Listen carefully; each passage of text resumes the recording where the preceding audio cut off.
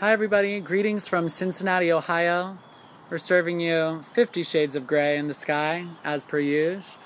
I'm going back to my roots this weekend here in Cincinnati, where I went to college and where half my family is from. For today's 30 till 30 Sweets and Sweats, I thought I'd feature some Midwestern delights that um, are considered quite a delicacy here in the Midwest.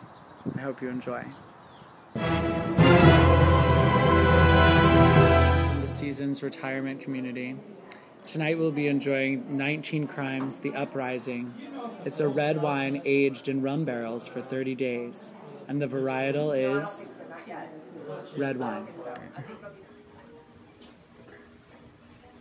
I am not ashamed to speak the truth.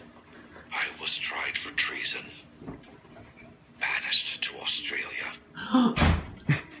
Yet I challenged my.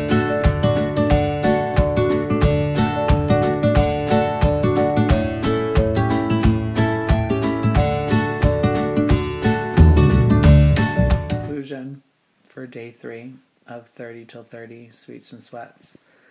At dinner tonight, I asked for the most expensive Cabernet on the menu, and it was $13.